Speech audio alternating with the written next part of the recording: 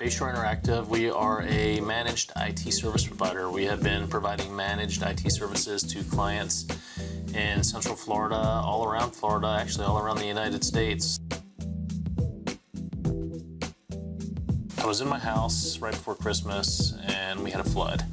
And all of a sudden, life turned upside down and we had to move right away. When we moved, I wanted to move my office phone with me. So I moved all my gear over. I had a phone, a VPN, this and that.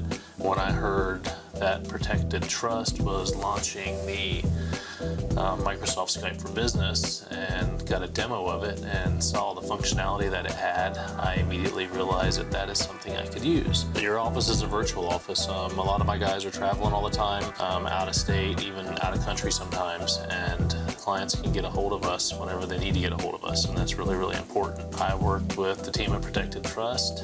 I got it set up from my office, and I'm able to connect up at my home, at my office, in the car, when I'm traveling, and it's all transparent. I mean, that's just one less thing that we have to worry about with Skype for Business. We're not going to be down. We're not going to lose any calls.